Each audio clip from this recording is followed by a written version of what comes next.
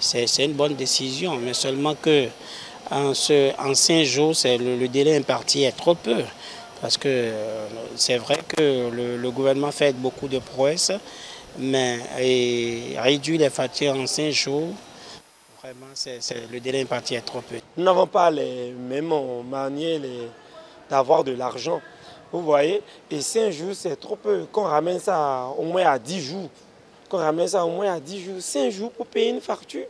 Déjà, si tu dois aller au, service très tôt le matin et quitter à une heure, à une heure où le guichet est déjà fermé, tu serais dans cette navette-là et on viendra te, te couper le courant. On ne doit pas mettre la pression sur le citoyen pour qu'il paye sa facture. Avant, comme, comment ça se passait, les gens, vous pouvez cumuler une, deux, et c'est lors de la troisième facture que vous ne solidez pas qu'on vient vous couper. Mais pourquoi aujourd'hui on passe à 5 jours? Ça veut dire simplement qu'on est en train de présenter l'eau comme un liquide qu'on doit vendre aux citoyens. Or, en réalité, l'accès à l'eau, aujourd'hui, c'est un droit.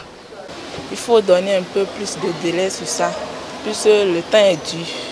Le délai est réduit, ça ne nous arrange pas ça ne nous arrange pas du tout. Déjà, ça veut dire que le, nos, nos, difficultés s'augmentent automatiquement, comme ça. C'est pas bon, ça ne nous arrange pas. Déjà, avec euh, le système ancien, c'était aussi difficile.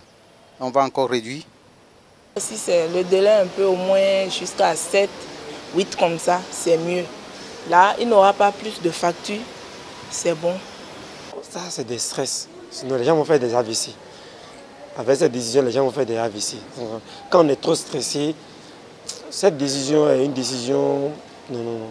C'est pour nous stresser.